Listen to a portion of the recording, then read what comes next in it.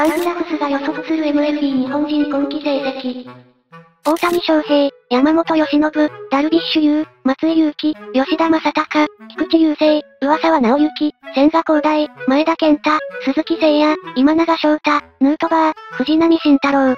大谷翔平試合150打率。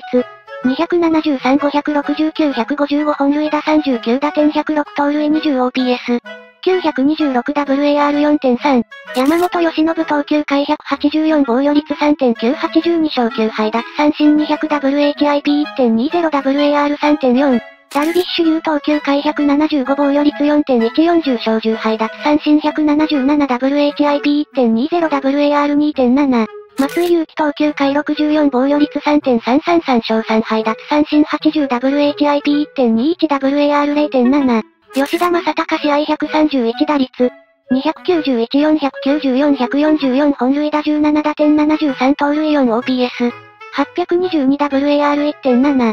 菊池雄星投球回156防御率4.01 10勝9敗奪三振 162WHIP1.26WAR2.2。上沢直之投球回28防御率4.371勝2敗奪三振 25WHIP1.31WAR0.1。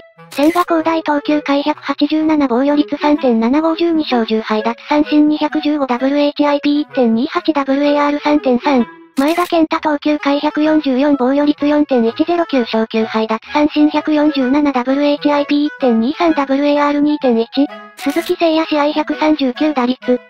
264、526、139本塁打23打点82盗塁 9OPS。805WAR2.2。